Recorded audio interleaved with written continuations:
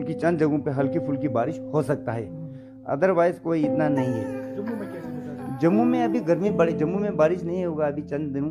कम से कम दो तीन तक तो नहीं है चार पाँच तो फिर हल्की फुल्की तो बारिश होगी थोड़ी देर के लिए लेकिन तेज बारिश के साथ हवाएँ भी चलते हैं। तो जिसको बोलते हैं प्री मानसून शावर भी हम बोलते हैं। तो इस टाइप का होने का इम्कान है। गर्मी रहेगा जैसे देखिए अभी कश्मीर में अभी श्रीनगर की ही अगर मैं बता देता हूँ तो श्रीनगर में आजकल का टेम्परेचर सेंट्रल कश्मीर में तेरह बीस से तेरह बीस से लेके चौबीस डिग्री सेल्सियस जाता है, उन्हें दिन का दर्जा कि एक दो डिग्री सेल्सियस एबो नॉर्मल है। इसी तरह जम्मू में आजकल thirty thirty eight thirty seven, thirty है यानी कि,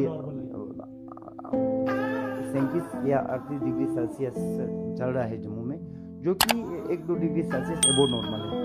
तो ये अभी आने वाले दिनों में खास करके कल आने वाले दो तीन दिनों में तो और बढ़ेगा कम नहीं होगा।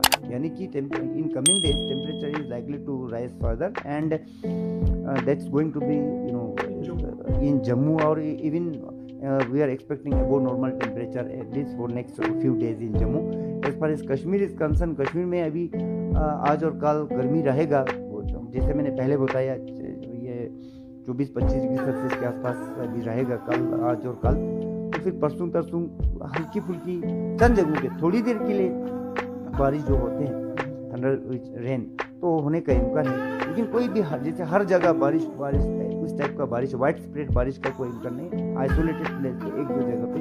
अब वो कौन सी जगह पे एग्जैक्ट बोलना दैट इज़ क्वाइट चैलेंजिंग अभी के हिसाब से। हाँ हम फिर